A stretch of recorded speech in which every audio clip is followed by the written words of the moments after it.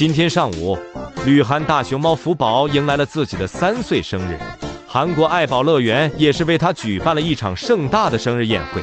在此之前，江爷爷和宋爷爷就开始张罗起了福宝的生日会，为他精心准备了一个鲜花大蛋糕。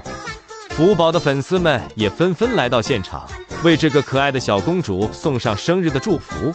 对于江爷爷他们送自己的这个鲜花蛋糕，福宝真的是喜欢的不得了，一个劲的把脑袋放上去，不停的蹭，因为真的是太香了。鲜花配美熊，果然大熊猫也逃不过爱美的天性。大熊猫福宝二零二零年出生于韩国爱宝乐园，从小时候起。福宝就凭借可爱的外形和调皮的性格，在海内外拥有众多拥趸。韩国饲养员江爷爷和宋爷爷对福宝的爱也感动了许多人。而在这个月初，福宝的妈妈产下了一对双胞胎宝宝，福宝一下就升级成了姐姐。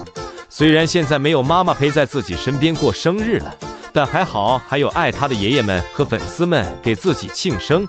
福宝今天也是开心的不得了。三岁对于大熊猫来说，就意味着即将进入成年熊的行列了。今天的生日对于福宝来说，更像是他的成熊礼。